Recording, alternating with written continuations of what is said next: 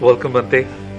It is really a pleasure and honor to have the opportunity to have this interview with you today. Thank you. And let me begin by introducing uh, Bhante Vimalaramsi. Bhante Vimalaramsi is a Mahathera monk. He has been a monk for more than 35 years. Yeah. And uh, he's currently the abbot of Dhammasukha Meditation Center. And he is one of the monks that I have met whose teachings are based on the earliest and most comprehensively recorded teachings of Buddha, uh, straight from the suttas, as he says. And uh, why it's a very special moment for me is because for a brief period I had the opportunity to have a temporary ordination as a Samanera monk while at uh, Dhammasukha Meditation Center with uh, Bhante Vimalaramsi. So, Bhante, very welcome once again. I'm looking forward to this conversation with you. Welcome back to the part two of our conversation with Bhante Vimalaramsi. Uh, Bhante, welcome back from the break. Thank you. And uh, so, the second part of the conversation, we are going to dive a little bit deeper into the teachings uh, of Dhamma and uh, and the words of Buddha. There is this. Uh, there are many uh, styles of meditation that are taught around the world.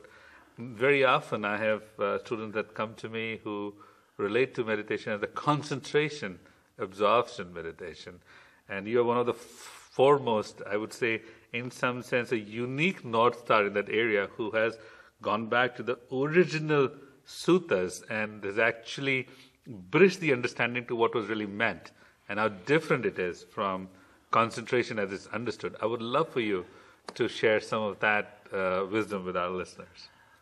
Okay. One pointed concentration or absorption concentration is this your mind is on an object of meditation. I don't care what that object is. It can be the breath, it can be loving kindness, it can be staring at a candle, it can be anything. Now, your mind gets distracted. You have a thought that pulls your attention away. One pointed concentration or absorption concentration is this you see that your mind is not with your object of meditation. And immediately you drop the thought or the feeling, whatever it happens to be, that distracted you, and come back to your object of meditation. Now, what happens is you do that enough that you're going to start staying on your object of meditation. Absolutely. And your, your sense of concentration is going to get so deep that it suppresses the hindrances. It stops hindrances from coming up. So you don't have distractions. Now, what that means also is that your mind will start to get into a state of bliss where it's very peaceful and very uh, at ease. And you stay there for a period of time and you think, this is it. this is really the best meditation I've ever run across. Yeah, true. I'm quiet, I'm peaceful. But when you break your sitting and you're not in that deep state of concentration, you still have the same kind of problems that you had before you started. You still have the anger, the dissatisfaction, the sadness. And then you want to run back into that state because it was so peaceful. And that's what's happening with Yeah. almost everybody Right. that's doing meditation. Yeah, a lot of people like that. They're they're suppressing the hindrances and they just want to feel good. now, when you're practicing what I teach, your mind is on your object of meditation, that's the same. Your mind gets distracted, that's the same. Now, here is what the difference is. Now, you let that distraction be there by itself. You don't keep your attention on it. You don't push it away. You don't try to force it away. You just don't keep your attention on it anymore. And relax that tension and tightness in your head, in your mind. and bring up something wholesome, smile, and bring that smiling, happy mind that's pure and clear back to your object of meditation. So, with one pointed concentration, you don't recognize the craving, and you're bringing craving back to your object of meditation, and that causes the concentration to get deeper and, deeper. Yeah. And it stops the hindrances from arising while you're in that state. When you're practicing the way that I'm teaching you, you recognize hindrances when they come up and you allow them to be there by themselves and relax. You let go of the craving. So, right now, you've purified your mind. When you don't let go of craving, then you're going to keep that craving and not being able to recognize, Recognize it. them. Absolutely. So true. And I know that there are some people that say there's only one kind of jhana. now, Yeah, there, there is. jha- There is. jhana Yeah. is a word that's very much misunderstood. Yeah, true. Jhana means a level of your understanding, a level of your being able to see and teach yourself how to let go of craving. Almost everybody that teaches uh, absorption meditation, they say jhana means concentration. Now, this is a word that I don't use very often Yeah. because it's so misunderstood. You see somebody that's playing baseball and they get a close up of the guy's eyes and he's ready to hit the ball and they say, Look at that concentration. Now, he's not distracted at all. He's, he, he sees how all of these different parts of the ball moving towards him and how to adjust, and that's concentration. But it's not letting go of the craving. Yep. One of the things is when you recognize the letting go of craving, you become more efficient with whatever you're doing because you'll be able to recognize the hindrances when they come up and pull you away. I taught uh, a lot of college students, and they have a big test coming at the end of the year, and they're all excited and they're all dreading that uh, that test. And I ask them, when you're studying, does your mind get pulled away? Do you start worrying about whether you're going to do well on the test or not? Well, yeah, all the time. Why? Why are you worrying about something that hasn't even happened, Happened yet? yet. Yeah. Why don't you recognize it? Let it be there by yourself, by itself. Take a breath and come back and laugh with yourself for getting pulled away. When you do that, all of a sudden your mind starts staying on what you're reading, and you don't have to go over it again and again and again because you got distracted. Distracted, yeah. So you become more efficient with what you're doing while you're doing it. And that makes life more fun. Oh, it does. For sure. That's why you call your technique of meditation as tranquil wisdom insight Yeah. uh, meditation. And uh, you know, before I had the opportunity to uh, study with uh, with Bhante Vimalaramsi, I had also practiced a different form of concentration meditation as one of the techniques I was trained in. And I, and I know exactly what you, what you said about fighting your mind with mind, using your Yeah. mind to suppress the mind. Uh, It, it can lead you to sometimes literally have a headache uh, it can lead, it leads you to the crazy house too. Absolutely, absolutely. And so TWIM is actually a very wonderful technique uh, that uh, Bhante Vimalaramsi has been teaching for, for quite a while now and leading retreats. has trained retreat leaders who are now going out and teaching, and some of them are my good personal friends. I've had the pleasure to come to know them through uh, through Bhante. And there's a very nice book, so we will talk about the book towards the end of it, in which uh, Bhante talks about the TWIM technique. Bhante, now, in this subject, uh, with your permission, I'm going to delve a little bit deeper into aspects of, as much as you clarified in the first part that Buddhism is not a religion, right? However, any organized practice, people need to put a label to it, right? And uh, and some people will always think of it as a religion. Yeah. And what, what that will bring up, not necessarily in a bad way, you know, I mean, uh, religion doesn't mean we have to defend it. And uh, the, uh, I would like to draw some attention to some concepts that people who are not familiar with Eastern faiths per se tend to have a challenge understanding what they really mean. And I, I can imagine you can guess what I'm going to ask you about. I'm going to ask you about the Buddhist principle of rebirth, right? Because in the in most Abrahamic religions, as practiced, uh, um, uh, as practiced by common people, uh, the concept of reincarnation and or rebirth, and I understand they're different. Yeah. So, would you like to say a little bit about what the Buddhist concept of rebirth is, and how it differentiates from the Hindu concept of reincarnation? Yeah. And this is something that if you practice meditation, you will be able to see this for yourself. If you're practicing with the six R's. Six R's, absolutely.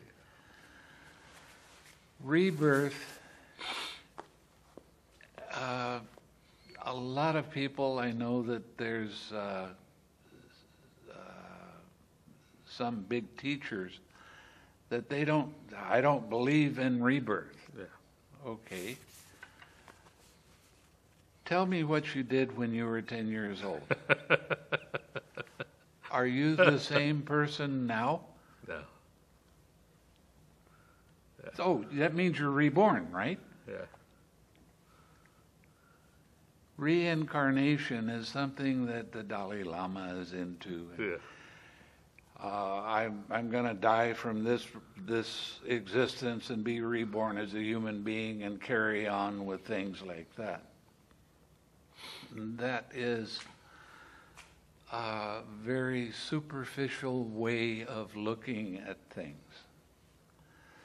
Now, I teach you in meditation how to see individual consciousnesses arise and pass away. Way.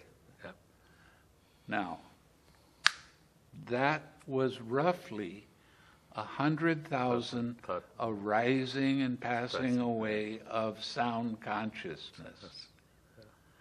When you see me talking and you hear me talking, you think that's happening at the same time. One of the principles of Buddhism is that things only happen one thing at a time. so when you're hearing me, you're not seeing me, although it's happening so fast that you think it is. You think this is the way it is. I teach meditation to a degree where you will be able to see individual consciousnesses arise and pass away. And you'll see this for yourself. And this is called birth and death of one consciousness. And it happens very, very fast. Reincarnation implies the same consciousness goes from one body to the next, to the next, to the next. The way the Buddha teaches is that consciousnesses are continually arising and passing away.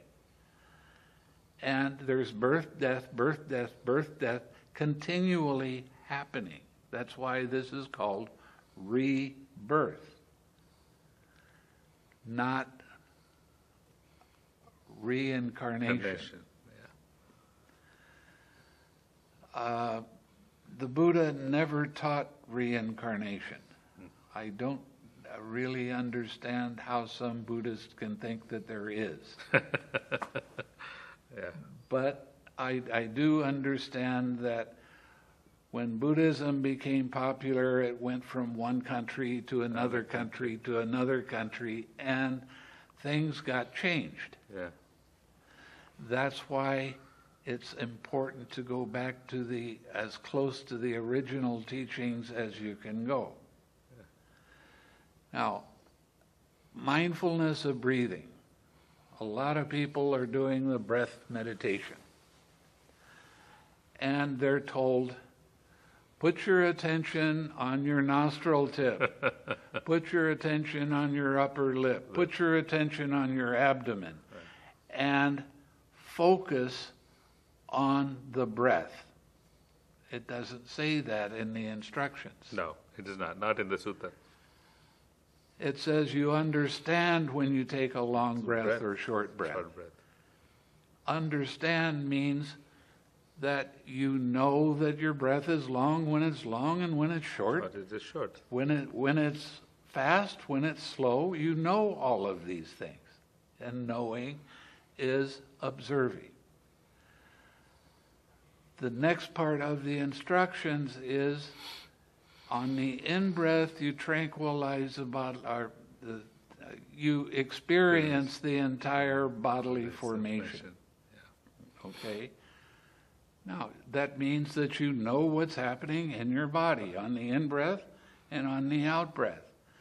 You use the breath as the reminder to relax that tension and tightness in your head and your mind. And that's what the next part of the instructions say. Yeah. The instructions in mindfulness and breathing are very, very simple. Yeah. I practiced 20 years a method of mindfulness of breathing, watching the abdomen for 20 years, and I still didn't understand what they were talking about with those instructions. So it's not focus on the breath, it's use the breath as the reminder to relax. Yeah. You relax on the in breath, you relax on the out breath. I teach loving kindness meditation because I like to see people progress in meditation very fast. Loving kindness is a way of wishing someone else happiness and feeling that happiness and radiating that happiness to them. And it's a meditation that you can take with you in your daily life. When you're walking from here to your car, what are you doing with your mind? Thinking this, thinking that. When you start practicing loving kindness, you start radiating loving kindness to all beings.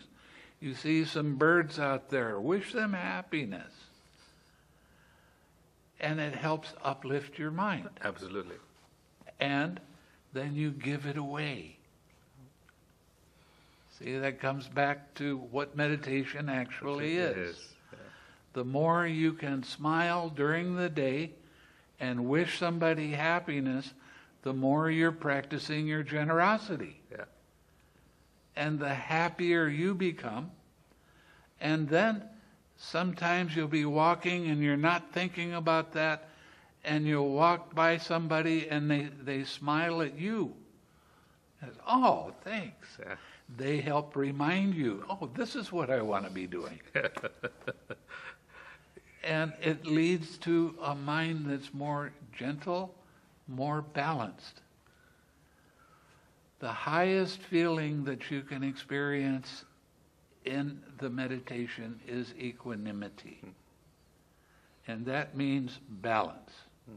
Somebody could come at you with their, their anger, and you don't take it as yours personally. You look at them and you wish them happiness. That takes their anger away. One of the things that the Buddha said is you can never overcome hatred by hatred. But how many times are we trying to do that, especially with the way politics in the world are, is working right now? Not a great day to talk about it. You just get people yelling at each other other. and they're not listening to each other at all. yeah. True. So, Instead of doing that, wish them happiness. Yeah. Their mind calms down. I've seen it happen thousands of times. Yeah, yeah. and radiate loving kindness into the situation. And when you do that, you become more focused in what you're doing. You're more successful with what you're doing. And the people that you're working with become happy because you're giving them the example of being happy. Happy. And that's what loving kindness Right. is about. Yeah. Sometimes I like to say, you know, being loving, kind, and happy is contagious, as contagious as being sad and complaining is. So if you're going to be, if you're going to contaminate people, contaminate them with joy Yeah. and happiness. Uh, in the corporate world today, Bhante, we work routinely with uh, corporate clients where there are deadlines and demands and pressures to perform, and and uh, they all often approach us that uh, how might they integrate mindfulness into the workplace? How might leaders integrate mindfulness into their leadership style? So I wonder if you have some. I know you don't like calling them tips, but if you have some Well, I- practices to share. Yeah, yeah. See, the thing that r- almost nobody really understands is how easy it is to get distracted away from what you're doing while you're doing it. Absolutely. You're focusing on this, and somebody comes and asks you a question Question. and and then you have an emotional reaction to that. I wish you wouldn't have done Done that. that, why yeah. do you why are you bothering me now? Yeah. Okay. So when you're practicing equanimity, it's okay and you become more efficient. You don't have thoughts. See, somebody comes up and they say something to you, you might not like it. They go away. What do you think about? Why did Are you say that to me? thinking about what you should be thinking about or what they just got through saying and how Yeah. much you don't like it? Yeah. How much pain do you cause yourself because of that? When you have good equanimity, when you have good balance of mind, it doesn't matter what somebody else says to you. They can have their opinion, fine. That doesn't mean you have to make it your opinion or your dislike of an opinion and fight with it. You have to change, or for that matter, change their opinion. You don't They have can- to change their No, but opinion. they can keep it. They can keep their Yeah. opinion. It doesn't matter. No, it doesn't. but it's the balance of mind that strikes them. And they, they see that you can go back to work and, and not be distracted at all. And that impresses them. The way you become a teacher is by example. And the more you can be an example of balance and happiness, the more you affect everybody around you. And then everybody starts to become more efficient. So, this practice is about life. It's not this practice and then I'm going to go do this or I'm going to go think about this. No, you think about this and don't let yourself be distracted. Even if somebody comes up and they try to distract you, you can go back to it very easy because you're not making a big deal of the distraction. Yeah. No, that's very good. I, I, I completely agree. In fact, the, the pressure in the corporate world is so much about multitasking that, I mean, I've never, I've never really understood how can you be doing more than one task at a time. Uh, right. It's really And, badly. and you don't do any task very well. Very well, when absolutely. you're A- multitasking. Absolutely. I have a student that got upset because she used to multitask all the time. and she practiced with me and she said, Now I can't multitask. Yeah. I have to do this and get it done and get it done right before I do something else. Yeah. And I said, Yeah. And how much more efficient are you? You get more done during the day when you don't multitask. Yeah, yeah. In, in fact, the, the, the, the concept of multitasking, just a trivia, uh, comes from the world of computers. When first powerful computers were developed, they could do more than one task uh, at a time. That did not mean that at the same time they were doing ta- two tasks. It just meant they were completing tasks faster so that they can do more tasks in less time. Yeah. It was actually a measure of efficiency and productivity. It wasn't a measure of how di- distributed, uh, scattered the Yeah. mind was. But the thing is, if you try multitasking, you might forget something. Yeah, yeah. And then you got to come back and, And do it. redo it again. Yeah. Well, are you being efficient by doing it that no, way? it's not. And that's that's the problem with retasking. Yeah, yeah. And people are not very good One when of the things they're doing it that way. One of the things we try when we practice at AYAM is called the touch once rule. Once you touch a task, you finish it, but you, so you don't have to touch it again. Right. So we call it the touch once rule. If you open this, you finish it and get out of it. The the ability to focus. When I was, uh, you know, in, in my study of psychology and human cognition, during the early 2000s, you could find 18 to 20 minutes of concentration, as in uh, the ability to stick to a task before you were disrupted. Uh, the, the same study was repeated in 2012. It was down to eight minutes. Yeah. Now the average that's trending, and I was just reading uh, some research that came out uh, from from neuropsychologists now, uh, is that uh, it's down to two and a half minutes. Yeah. That every two and a half minutes, people need to to distract and do something different to get that dopamine shot. That that that sense of well-being is coming. Oh, I'm trying to do many things. So we call it, you know, v- running. You know, being very busy in life, accomplishing nothing. You know? Different to productivity and activity. Yeah. But they you also worked a lot in the prisons, Yeah. teaching, and, and in medium security prisons, you know, in, Yeah. in tough prisons. And uh, would you like to share a little bit of, of that anecdote? Well, I I gave them a I give them talks on the advantage of, of learning how to be happy and the advantages of not taking things personally. Personally, yeah. We finally set up uh, that we would come once a month, and for one week, I would give them a retreat. And it started at 8 o'clock in the morning, stopped at 8 o'clock at night.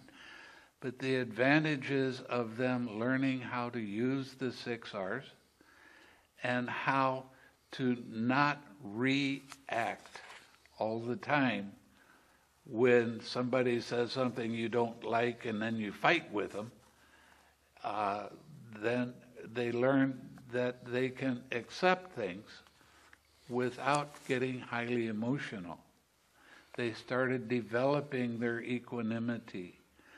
And it got so at this one, one prison that when prisoners get together, they yell. They're always making noise. It's never quiet. So they wanted to come and sit in meditation, and it wasn't quiet. So it was hard for them.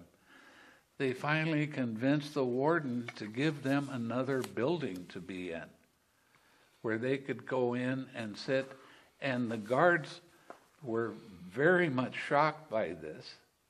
And they would go in and sit in meditation with the prisoners. And that was kind of a new concept for them. They- them. They'd never done that before. And it's just a matter of being more aware of things that make you unhappy and letting that go.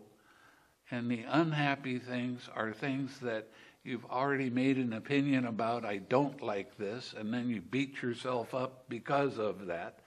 And you wind up causing yourself more and more pain. Yeah. I got them to start smiling.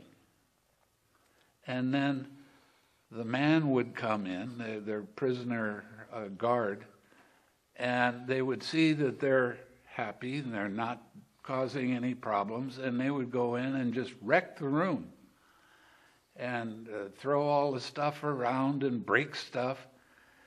And this one man, he was known for being angry. And he was thrown in the hole, the isolation, for at, at least a week per month. I mean, he, he was always getting in trouble. And after I taught him this and I got him to start seeing the sense of it, right after a meditation class, he went back to his, his room, and the guards came in and they tore his room up. And he didn't respond with anger. He just looked at him and he kind of smiled a little bit. And then, as they were leaving, he said, Thank you very much. You've given me a chance to clean out a lot of stuff. and they didn't know how to handle it. And after uh, it was about a month, then they started letting him go out so he could be outside and work in the garden because he had changed his perspective and he changed the dislike that he had and taking it personally and causing himself, himself so much pain he started seeing there's a different way and a different perspective that you can use. And i i was there for about a year at this one uh, prison.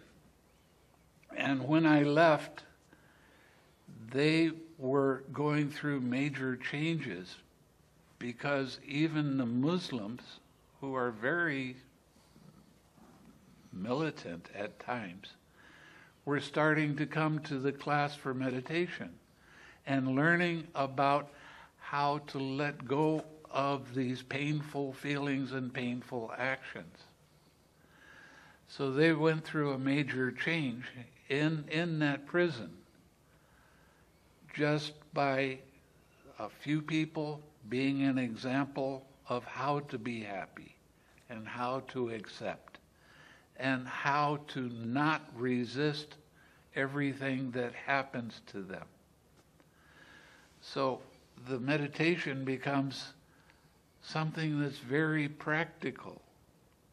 It's not something that you have to pray to another God to, Yeah, yeah. you don't pray to somebody else to help you overcome the problem.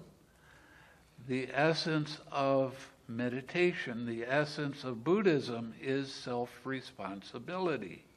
Take care of yourself.